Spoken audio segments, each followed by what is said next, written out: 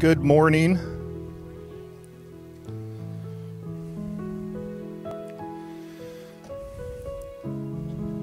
Good morning, Geraldine. Or at least I thought, yeah, I thought I heard her. I thought she said, Good morning, Leyland.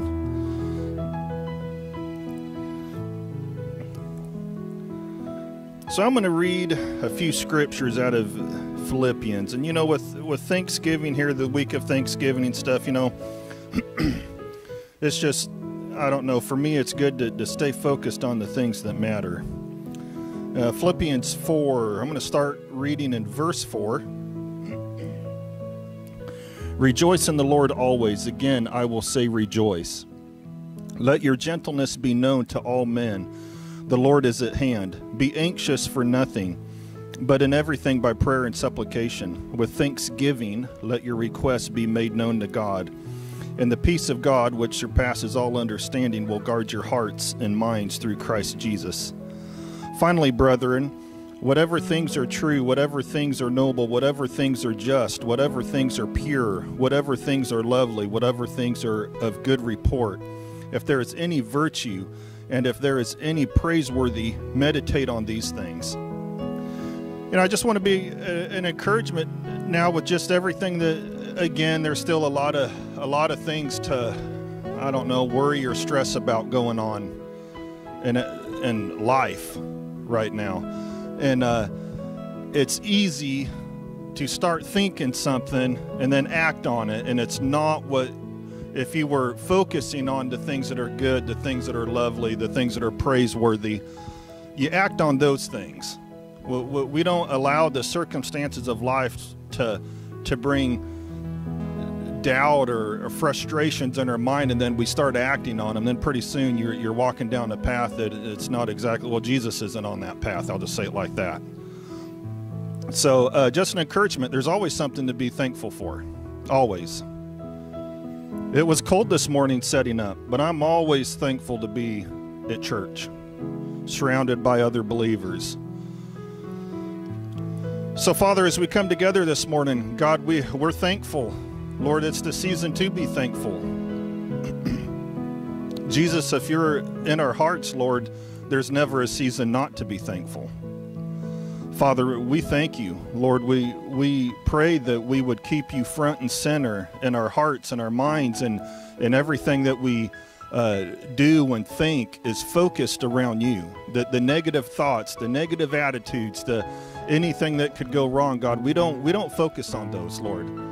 You are good and faithful, so we put our faith in you. So there is no reason to stress, Lord. We can live a thankful life. God, and, uh, and we're here to proclaim that this morning and worship. Lord, so uh, you be praised in Jesus' name. Amen.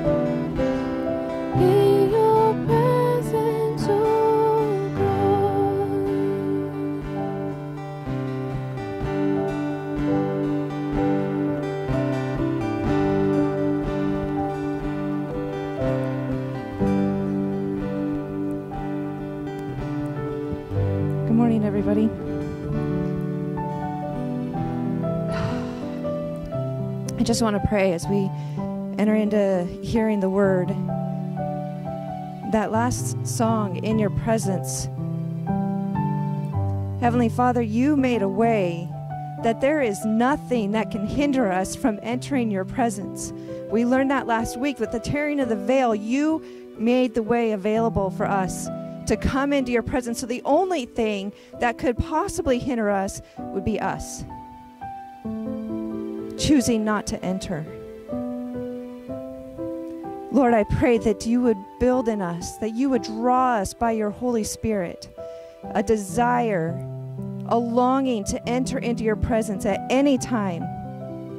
Nothing hindering, that we would come boldly to the throne of grace every day, seeking your presence because we know we are nothing without you. Lord, I'm so grateful that we have access to you every day, every moment, every second. We can come boldly before you. We can also come humbly before you and sit at your feet and worship you. Lord, let us never hesitate to worship. I pray that we wouldn't be hindered by man. We wouldn't be hindered by ourselves. There would be nothing that would hinder us. But God, there would be something in us, a fire and a passion to come and be in your presence. And let it begin this morning in Jesus' name. Lord, I pray that you would open up your word to us this morning. I pray that you would speak boldly through Lance, that it would be your word coming forth. Open up our ears to hear. In Jesus' name, amen. All right. Amen.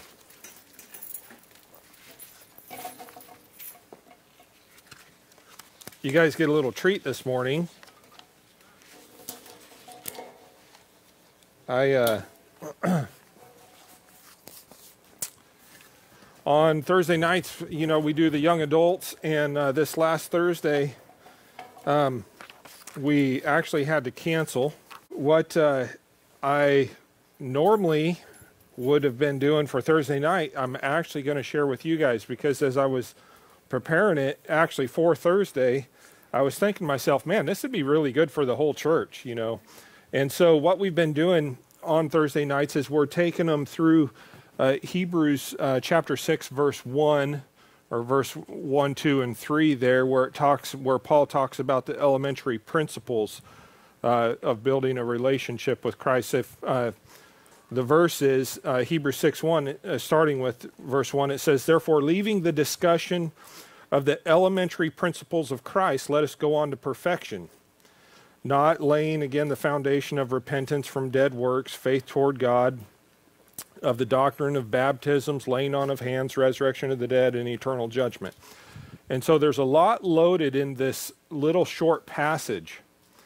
But what uh, what we've been bringing to their attention, and we've been working through this with them, because Paul starts it off by saying, Therefore, leaving the discussion of the elementary principles of Christ. So these are the elementary things. There's not one of us that would have expected to go to college or make it through college without an elementary principle of reading, right? You couldn't you couldn't go through college without being able to read in in elementary schools where you learn to read and write. And so these things literally uh, are the six fundamental ingredients to a uh, solid foundation in Christ that you build upon. It's not something that you strive for. This is the baseline. This is like, you know, this is like, this is the base. This is elementary. This is the, uh, this is the, these are the things that we have to get right so that we can uh, grow in God, so that we can uh, have a life and have a, uh, uh, a walk with God that uh, reveals the kingdom. You find when you have a strong foundation, you're not, uh, you know, you're not a victim to false teaching as much. You're not a victim to being uh, deceived and misled when you have these foundational principles right. I'll read them again. There's six of them here repentance from dead works and faith toward God, uh, the doctrine of baptism, laying on of hands, resurre- resurrection of the dead, and eternal judgment. So, just a, a few of these here. Uh, the doctrine of baptisms, plural.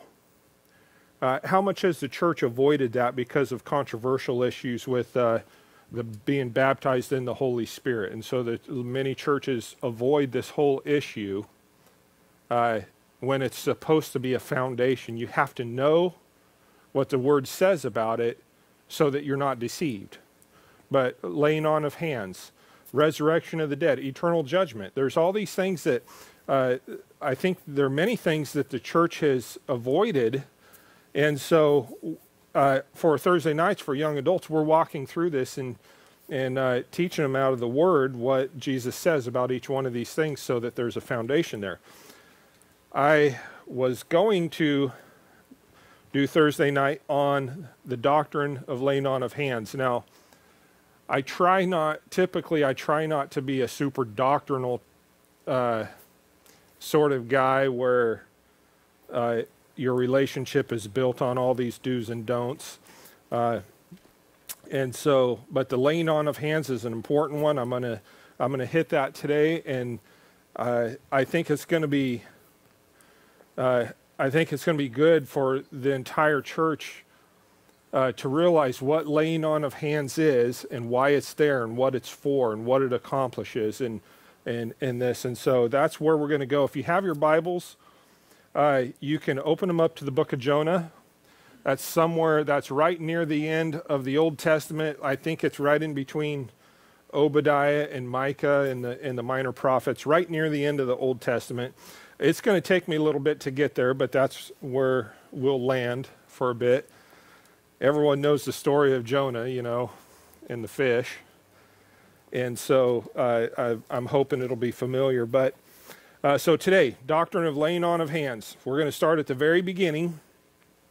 Uh, and I will, um, this last week as I was studying this out, I was even listening to uh, other pastors um, talk about laying on of hands and stuff. And so I've I've kind of hijacked several things that I thought, oh yeah, that explains it well. That's a good point, you know, and stuff. And so um, this isn't all stuff that you know God just revealed to me this week, but or He revealed you know through others also. Um, so.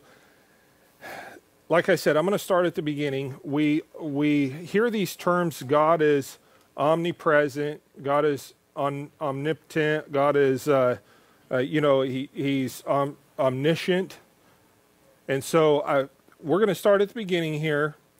Uh, God is omnipresent. In Psalms uh, 130, 139, it says, I can never escape from your spirit. I can never get it uh, away from your presence. If I go up to heaven, you're there. If I go down to the grave, you're there. If I ride on the wings of the morning, if I dwell in the furthest uh, oceans, even there your hand will guide me, your strength will support me. So God is present everywhere. There's nowhere that you can literally get away from God. He is everywhere. I'm going to hit these three things here because we have to have a good understanding of God uh, in relation to us. And so the first thing is God is everywhere. You can't get away from Him. Uh, he's in all things right? In uh, Jeremiah, it says, Can anyone hide from me in a secret place? Uh, am I not everywhere in all the heavens and the earth? So God is everywhere. That's, that's elementary. We all know that. Uh, God is omnipotent, which means God is all powerful. Uh, in Isaiah 44, it says, This is what the Lord says Your Redeemer and Creator, I am the Lord who made all things. I alone stretched out the heavens uh, who was with me when I made the earth? Colossians 1, it says, uh, For by him all things were created that, that are in heaven and that are in the earth, visible and invisible, whether thrones or dominion, principalities or powers, all things are created by him and for him. and he is before all things and all in him all things consist now this is a good verse because we understand that god is all powerful but we don't uh, i think a lot of times we we forget all things are in him and for him so uh, how do i explain this here god isn't in eternity. God isn't in heaven. God isn't in your heart. God isn't in this place. This place is in God. The, your heart is in God. It's found in Him. The heavens is found in Him. God doesn't like dwell in this whole nother realm. That other realm is in him. There is nothing eternal apart from God. So it's not like God could step out of eternity and eternity still exists and heaven still exists and even hell. See, we don't even think God is a consuming fire and we think that, that hell is here and God is here. And the, hell, even, and I, I use this kind of just hopefully to get our attention, hell doesn't exist outside of God because it's eternal and everything eternal exists in him. It's not like there's a form of knowledge or wisdom or there's something that he could gain that he hasn't gained because all things consist and exist in him. So it's out of him everything comes. Your understanding, the understanding of angels, everything. It doesn't like operate over here and then God says, oh, hey, that's a good idea. Every idea exists in him and is from him. Every every motion, everything. And so uh, when it's when God it says God is all powerful and He created all things and all things are in Him and consist and exist in Him. That's not like He's here and then He's there and oh He's over here and He's just bouncing around from galaxy to galaxy doing whatever. Those galaxies only exist in Him. If He were to like step out they would crumble and fall or dissolve. It's, it's because of his power that everything is even upheld. So it's a good, it's a, uh,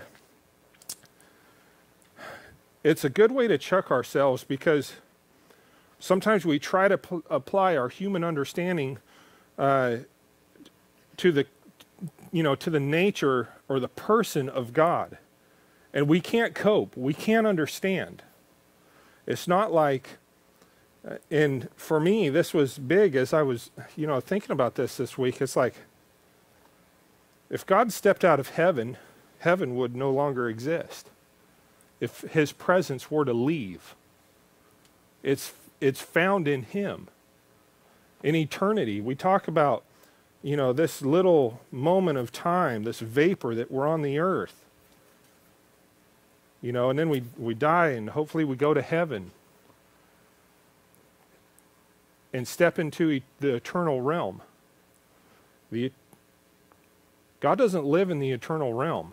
The eternal realm lives in Him. Wherever He goes, it goes. Wherever He restricts it into time, it's restricted into time. But it's not like it's something that this is just His home. Its home is Him. If you separated eternity from God, then eternity would crash. That's the power of that's the power of God. When it says all powerful, it, it, it means all powerful. There's, there's no middle ground here. God is omniscient, He is all knowing. In Psalm 147, it says, But great uh, is our Lord and mighty in power, and His understanding is infinite. Job 37. Uh, this is an awesome, you know, even chapter in Job. I, this the end of Job I really enjoy. It says, "Do you know how the clouds are balanced? Those wondrous works of Him who is perfect in knowledge." See, uh, and this is how it is. If we're going to think about God and try to understand God, God doesn't learn. Uh, God isn't, if I were to say God's not surprised, nothing surprises him, you would say, oh, yeah, yeah, that's, that's right. He, nothing surprises, nothing shocks God. He's not like, whoa, that caught me by surprise. Well, why is that? Because knowledge comes out of him, it doesn't go in. Things come out of God, nothing goes in. He is all powerful, He is all knowing, He is everywhere. My point to this, to hit these, to start back at the beginning here, is first to understand this perspective that God doesn't need anything. He doesn't need anything. Nothing. He needs nothing to exist ever for as long as his existence has been, as long as it will be, he needs nothing to exist. And, the, and this is this is to understand laying on of hands, this is the this is the foundation. God needs nothing. Uh, except except you. Because he needs nothing to exist, but he needs you to coexist. And it's not because it's not because he actually needs you, because we know this. If you were talking to God and you were praying, you wouldn't be like, God, you need me so much. Right? You see, he took, you got to get this.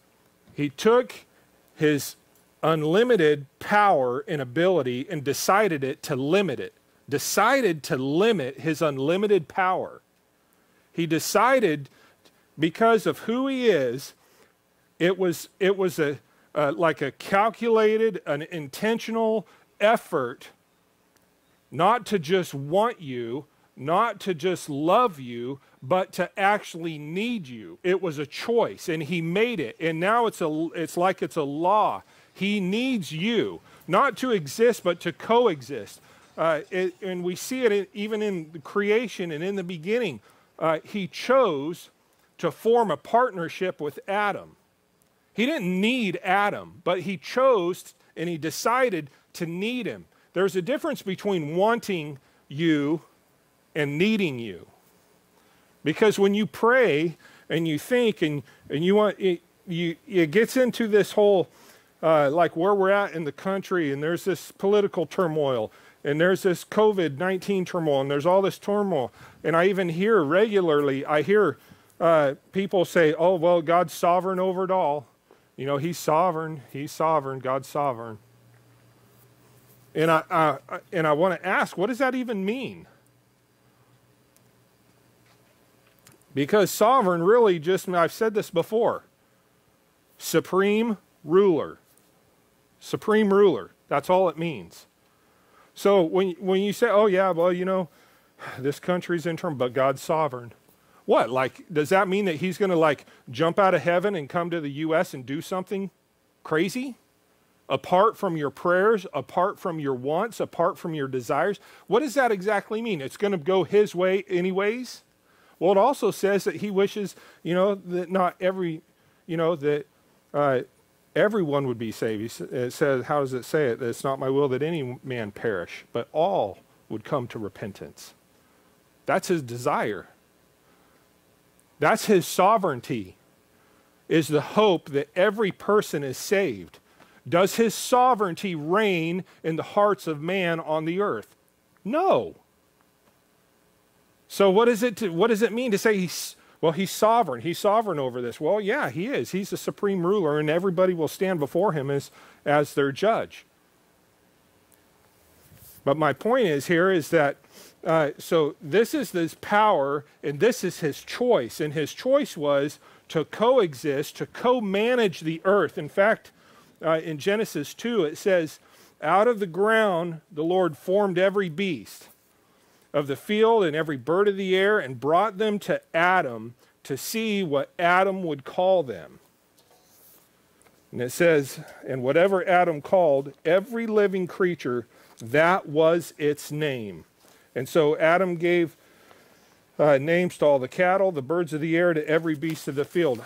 My thought is, is this, is why would God have Adam name every creature, every living thing? Adam doesn't have the ability to create it. See, there's, but, you know, God, I'm sure, could come up with some pretty good names. I, I really doubt his vocabulary was like short and he was like, oh no, uh, what am I going to, Adam, Adam, come here, I need some help. That's probably not what God was thinking. God created it and he could have named it, maybe even named animals better. I mean, if you think about some of the animal names, I'm just, you know, I'm thinking maybe God could have done it better. And, uh, but that's not what God wanted because he made a deliberate decision to partner with man. And if you partner with somebody, that means you have a part and they have a part. God's probably not interested in silent part being a silent partner in your life. And and he's probably not interested in you being a silent partner in his life. See, because this we know that God doesn't need man to exist. But he chose to partner with man to manage the earth. I personally think that's probably why there's no life found anywhere outside of the planet. I mean, you think about all these all these places and planets and stars and galaxies and Hubble telescope going out and they're searching for life somewhere. The word Bible is eternal. It's the word of God. It says he created man in his image and he partnered with man to manage the earth. And he allowed man to manage the earth. I, I I don't know. It's kind of crazy thinking, but I think maybe that'll be part of heaven is that he'll partner with man again to manage other places, galaxies, planets. But they're not there because we haven't partnered with him there yet. Maybe that's something we'll do in heaven. You'd be like, you know, sitting on the sitting on a board of people developing these galaxies and universes or something with God. There's no life out there. My point is, there's no life. Because the Bible isn't just for planet Earth, right? It's the living Word of God, it's eternal. If there's some other galaxy with some other creature and some other, other life form there, guess what they have to live by? The Word of God. It, it's not like for this neighborhood and it's not for this state, and it's certainly not for just this planet. It's the Word. Everything is upheld by His Word. Guess what you'll be judged by? So, every living creature that stands before the throne of God, guess what's going to be pulled out? The Word. So, it's not like it, it it's not like, okay. Uh, are you in Jonah chapter 1? as we're getting ready to start there, I'll read one more uh, verse out of Matthew to show the partnership that God intentionally decided to do with man. It says uh, in Matthew 13, verse 58, it says, Now, this is talking about Jesus, and he did not do many mighty works there because of their unbelief. This is, uh, depending on your tra- translation, uh, some translations will say that he could do no mighty work there because of their unbelief. Save, heal a few people. It's the only place in the Bible that that leads to the the thought here that Jesus is limited. And that word in the Greek that is used for he did not or he could not literally means the definition of that Greek means he the no the ability uh, the strength or ability. So he he didn't have the ability. The Son of God didn't have the ability to heal.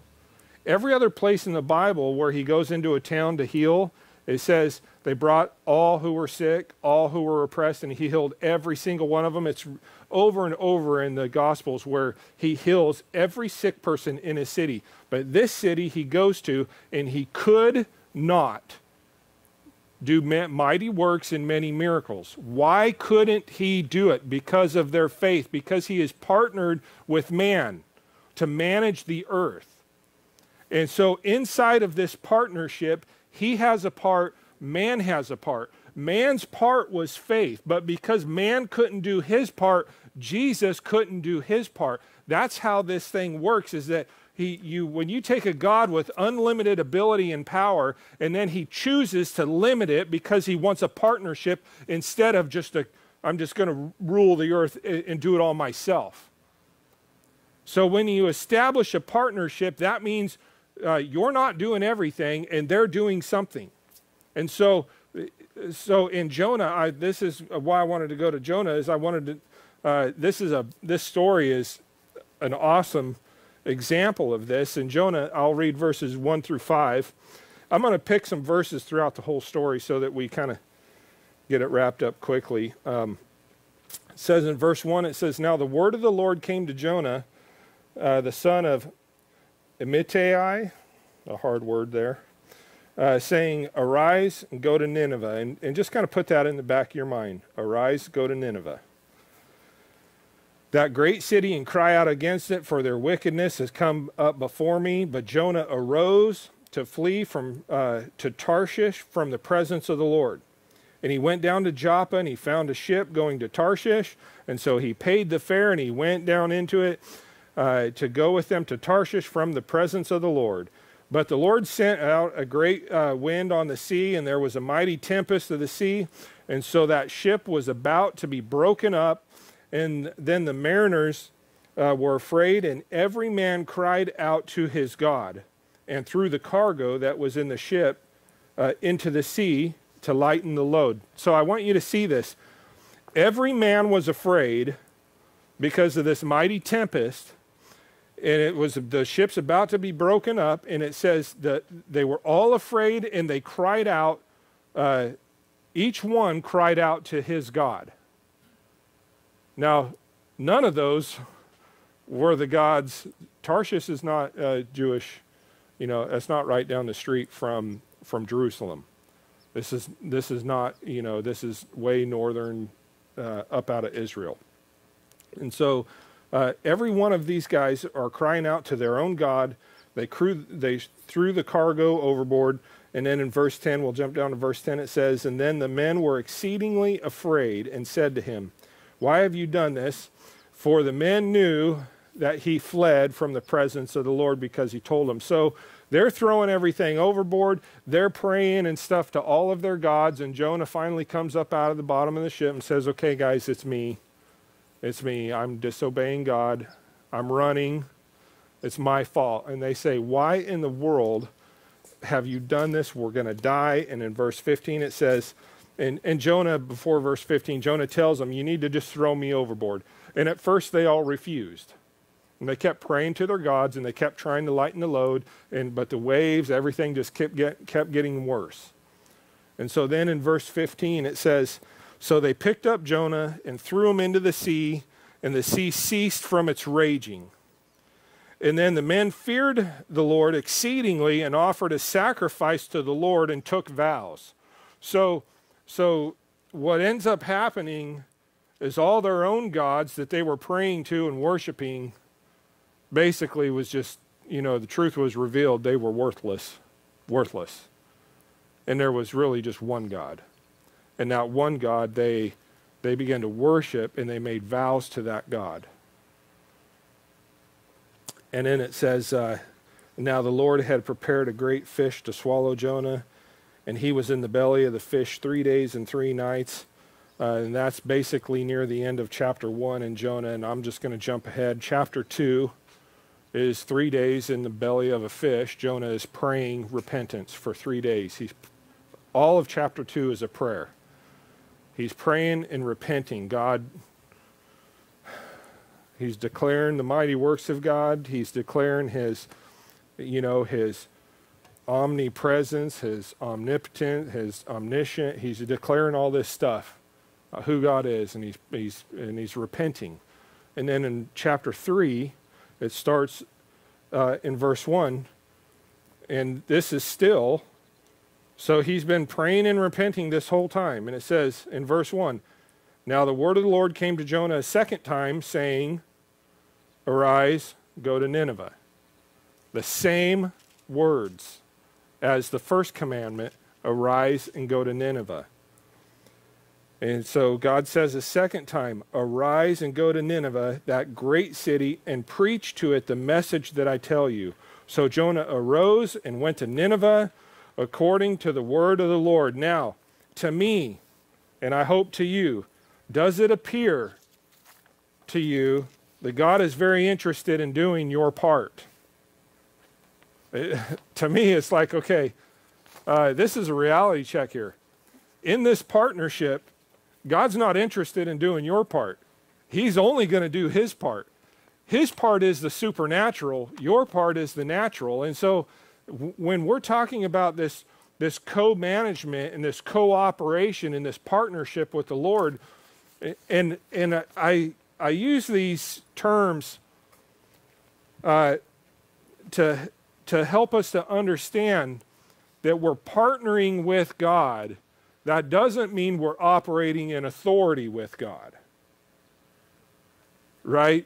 The partnership is probably a 51 49 sort of thing where, uh, yeah, you could say 50 50. I, I don't want to, you know, get all technical. But God did say, go to Nineveh. And when Jonah didn't, he ended up in the belly of a fish. So there is an authority there in this cooperation that the Father has. But what we do have to understand is that there is in this partnership, you have a part, and He's not going to do His part. And, and just so we know, His part is the part that you can't do.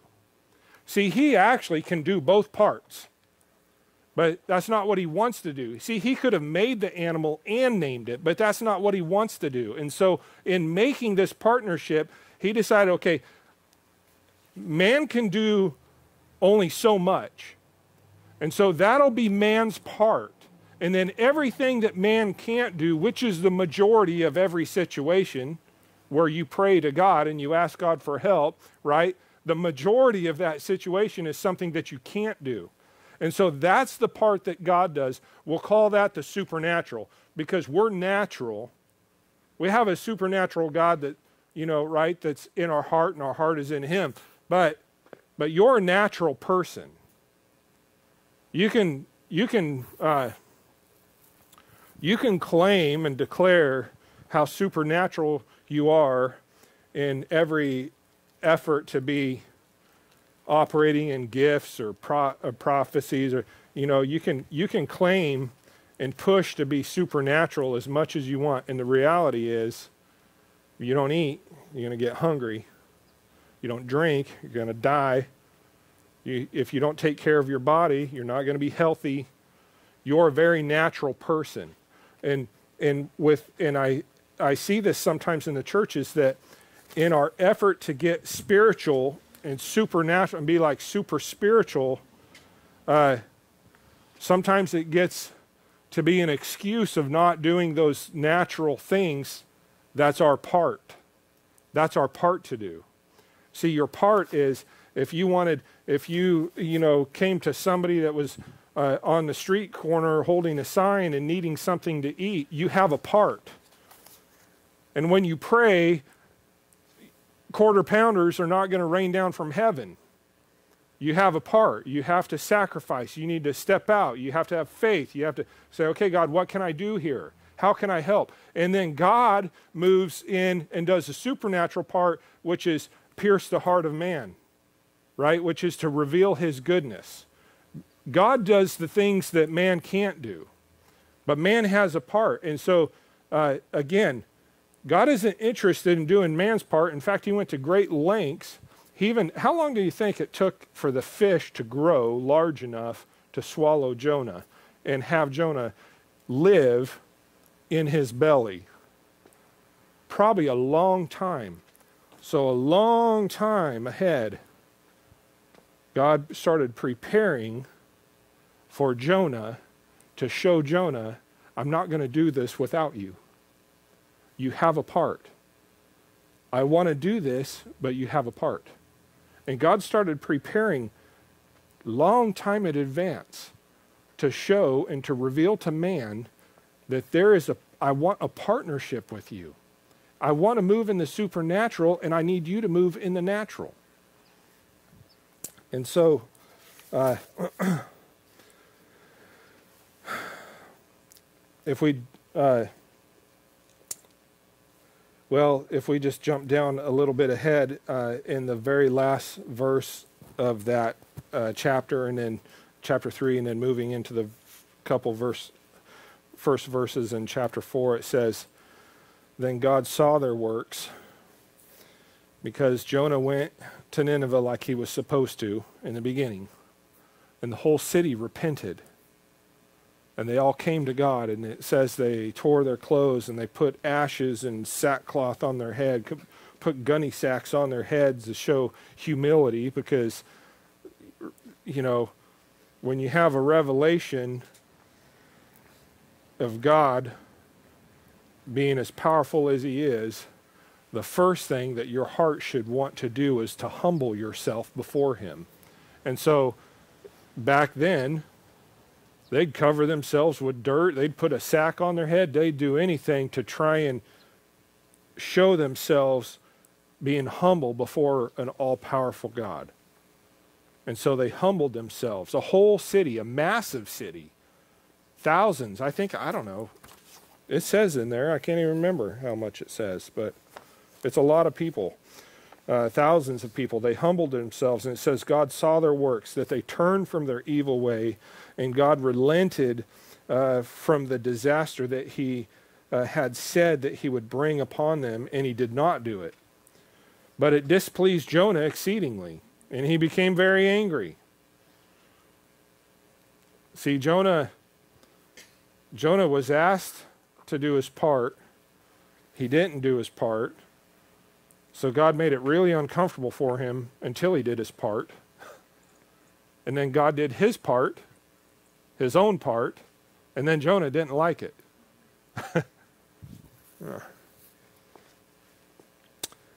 and it uh, and so in verse 2 and it says and so he prayed to the lord and said ah lord was not this what i said when i was still in my own country therefore i fled previously to tarshish for i know that you are a gracious and merciful god slow to anger abundant and loving kindness, one who relents from doing harm. If you will do your part, he is slow to anger, full of loving kindness, desiring to change and be gracious and merciful. See, see if we understood how vital our part is for the mercy and the grace of God to be revealed to mankind, then we wouldn't be so uh, hesitant or insecure, shy, whatever you want to call it, stubborn, I don't know. if we knew, like Jesus couldn't do many mighty works because of the lack of faith,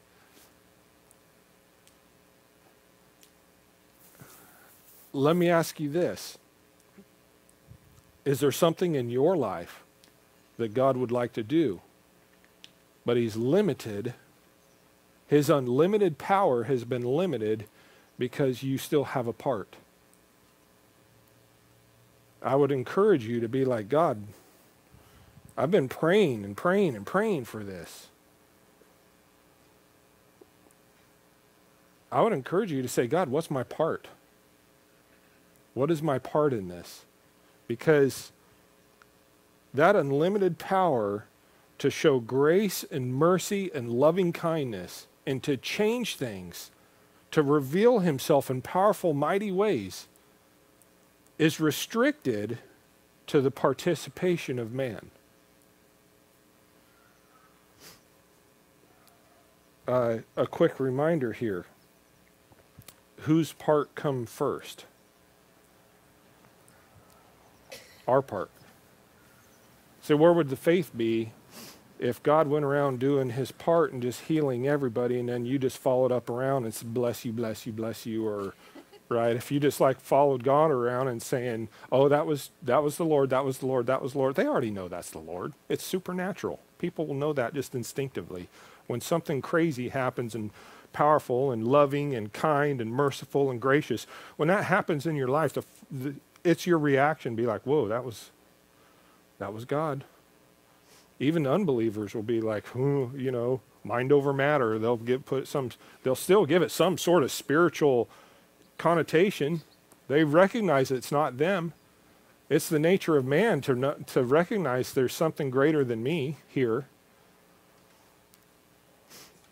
There would be no faith if you just followed God around and everything he was doing because he could be really efficient at doing his part and you just like went around like a puppy dog saying, "Yep, yep, yep, yep. I agree. I agree." But that's not that's not the way this partnership is formed. The partnership is formed is I'm not going to name the animal until you, and then I back you. I, I support you. I come in and do my part that you can't do after you reach the end of you. When you reach the end of you, then I come in and that then that's where my part starts. And there's so there's so many things in our life I think that uh, we would have breakthrough if we would ask God, what is our part? What is it that what is it that you want me to do here? Because sometimes it's not just praying. Praying is a good place to start. But maybe sometimes it's stepping out and like forgiving somebody that, ooh, I didn't really plan on forgiving. I just planned on avoiding. you know, COVID works out real well for people that haven't forgiven. Oh, I got a reason to avoid you. In fact, I don't even have to invite you over for Thanksgiving now. right? right? But is it an excuse to not do our part? I'm not saying it is. I'm just saying, are we are we checking ourselves? This this is to to bring this full circle this is the doctrine of laying on of hands. There is no power in laying on of hands. You don't have electricity in your fingertips just ready. You have a part, and your part is natural. And it's an expression of your faith to say, you know what, God, let me show you. I'm going to do my part. I'm going to put my hand on this person. I'm going to believe for them to be healed. And then God does his part. You, your part is, as as Christians, I think sometimes we get uh, we get so sometimes we get so caught up in those spiritual supernatural things that we forget man we have a part and it's in the natural maybe i just need to you know quit cussing so much i don't know ask ask god what are I, and maybe it's not something bad like, oh no, you've got sin in your life and you have to get it out. I'm not, I'm not saying look for sin in your life. I'm just saying ask God, God, what's my part? Is my part changing my daily routine? Is it is it forgiving or accepting or loving somebody that's been a real struggle for me to? It, you know, is it blessing somebody I normally wouldn't bless? You know, would it be would it be working that extra 15 or 20 minutes but not documenting it on the time clock so that I make sure and get compensated for I, I don't know. I can't tell you what your part is. But I'm saying God will tell you. In fact, he's pretty determined for you to know your part. And he's not going to do his until we do ours. But ours unlocks the supernatural. Ours unlocks the loving kindness and grace and mercy from heaven. Ours, our part is the key to all of this. As simple and natural. Yeah, I mean, you can even put in there fleshy, carnal, I don't put whatever term you want in there. As minimal as it appears your part is, it's the key that unlocks his part. When we understand that, we understand laying on hands. We understand every other um, the laying on of hands was the representation of this in the scripture. When you were going to pray for somebody, you laid hands on them. It wasn't like, whoa, social distance. God walked into the room, everybody want to give him a hug, but then they'd be like, oh, wait, wait. Uh, we don't we don't social distance from God. We don't social distance from our part. Fortunately, God is all knowing, and so He knows how to navigate the circumstances that we face today. I'm not minimizing COVID, but I am. Uh, I would be minimizing a perspective that God doesn't know how to navigate, and so you don't have to unlock your side. You don't have to do your part. You don't you know, God's just through this season, you know, God's just going to have to do his part without me because I can't. No. God knows. And you still have a part. And and this should this should be an encouragement to us because uh, God wants. Jonah even said it. Isn't the you know Jonah was like, isn't this what I said you were going to do? You were going to be full of loving kindness. You're going to be merciful and gracious.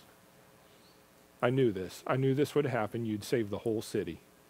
40,000, I think, is what it was. But uh, God wants to, and He wants us to do our part. Uh, worship team, you guys can want to close with a song today, and uh, um, and I want to pray for you. And if you have any needs, any physical needs, any uh, anything that you would like prayer for, you know, Quinn and I want to pray for you, and uh, and we'll wear our mask. Uh, God's bigger than that mask, and uh, and and He can gap every distance. And so, if you need prayer, just just come up and grab us, and we'll be glad to pray for you. And uh, and be encouraged that that even in this season, God has a part for you he has a, a job. There is, in this partnership, his, his loving kindness in his mercy in his grace wants to be released. He is desiring to release it in your life and in the lives around you. So don't resist.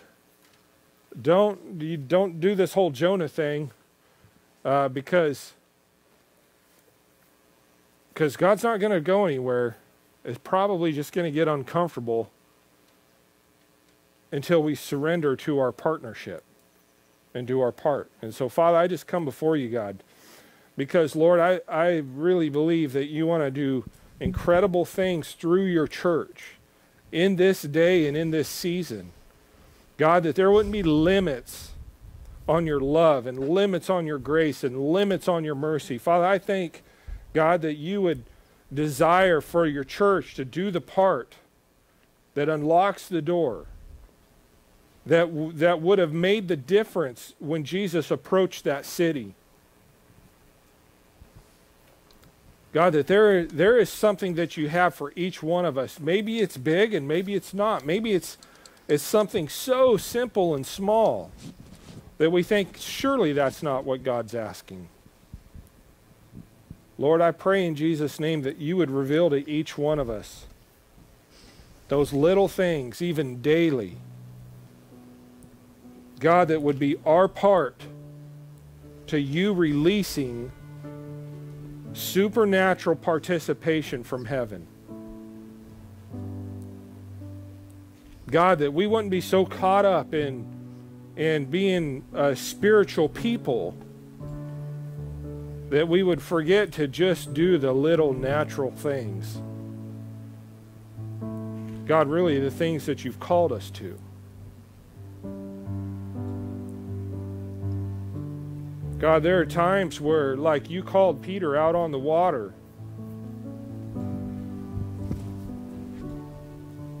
God, big things in the natural but still natural.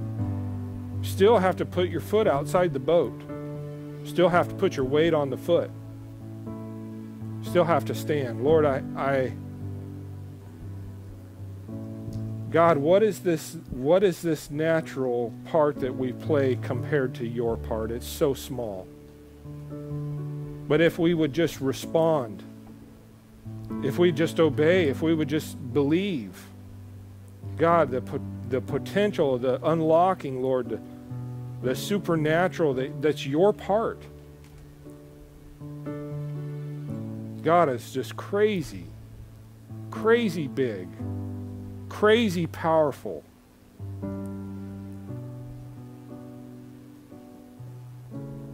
Lord, we we literally hold a key. You even said, Jesus said, I'll give you the keys to the kingdom. And we hold these keys, Lord, to unlock unlimited power to change people's lives.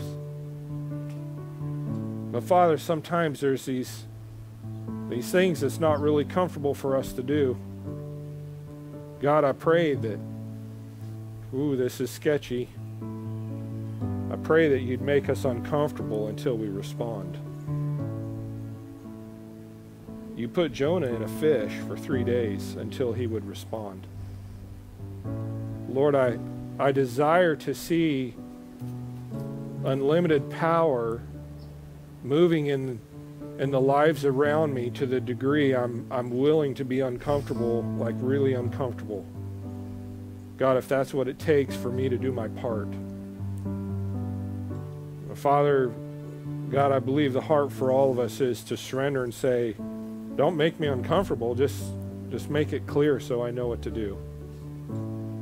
Because I, my heart is to obey. My heart is to desire to do my part, God, so you can do yours. And so, Father, I just thank you and I praise you. And Lord, I bless this church and this people. And I pray, God, that you'd cover them, Lord, with your loving kindness, with your grace, with your mercy. Father, as they go out this week, as they uh, in and out of the things that they do in their lives, Lord. God, I pray that you'd reveal your part to them in Jesus' name. Amen. Um, why don't you stand and they'll close with a song and, uh, and we'll be dismissed.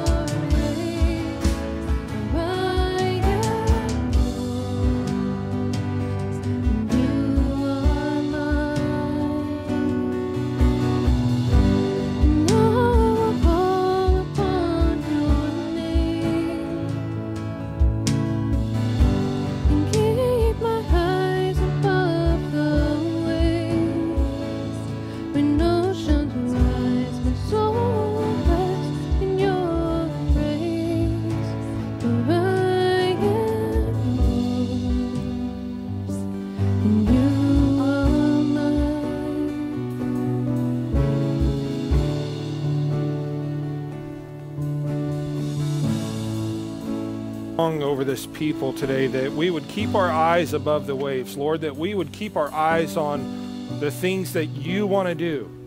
The, the Lord, the good things, the, the, this, these, the, our part that needs to be, God, that we need, we need to do. God, don't let us show that to us, but God, keep our eyes away from that, that focus. The more that we dwell on that, the more that it looks big or it looks uh, not realistic or it looks totally out of our comfort zone. God, keep our eyes on what you want to do. Lord, that our part would be appropriate, appropriately perceived. Father, I pray that for this church and for this people, God, that we would go out this week and that we would see, Lord, the things that you want to do in the lives around us, in the community around us. God, and just the person that's next to us. So, Father, I pray, God, that we'd have the strength, the discipline to do our part, to step up, unlock the door God, so that your loving kindness would just reign in and through us. Father, I praise you and thank you. God, I bless this people. I, Lord, I pray this week of Thanksgiving coming up, God, that it would be a, a blessed week. I know there are restrictions, but God, you, you can shower your love. God, you can show yourself real God, you can impact the hearts of man regardless of regardless of what the restrictions are. Father, I thank you that you are great and mighty and worthy to be praised. In Jesus' name, amen.